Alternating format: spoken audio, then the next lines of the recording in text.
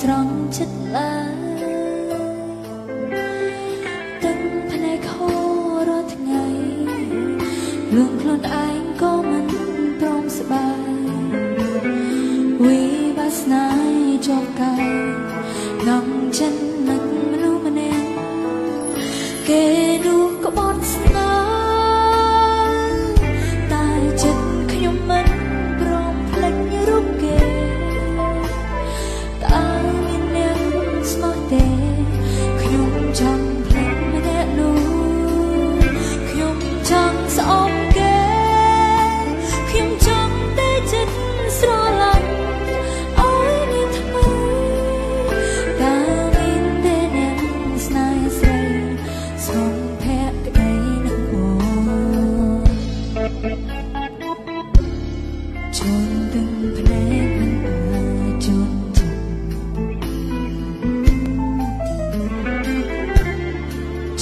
ចិត្តនឹកឲ្យជ្រេងចេញពីហរតីយើងធ្វើល្អនឹងគេរីឯគេថាគ្មានតម្លៃអ្នកដែលស្មងភក្តីហើយទៅໄວមិនជួបគ្នា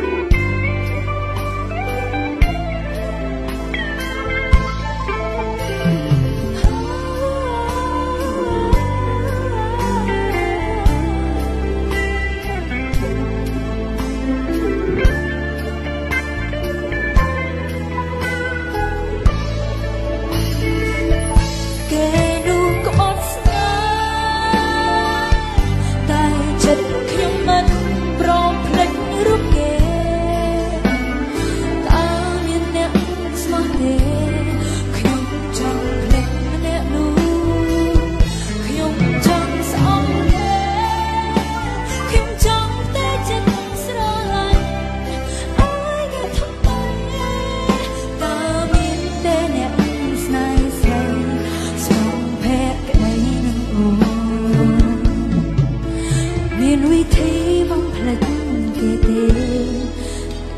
គេឈឺចាប់ណាំ